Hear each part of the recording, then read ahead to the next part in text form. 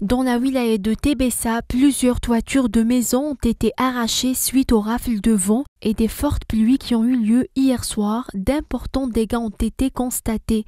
Mes voisins n'ont plus rien. Lors de ces intempéries, nous avons eu plusieurs problèmes. Les véhicules ont été emportés par le déluge.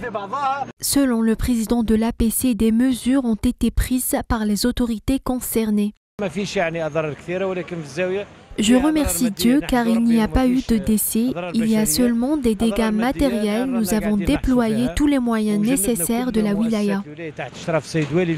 Rappelons que les intempéries ont causé plusieurs dégâts tels que les débordements d'ouettes et l'effondrement de plusieurs habitations, même âgées, qui ont été submergées par les eaux.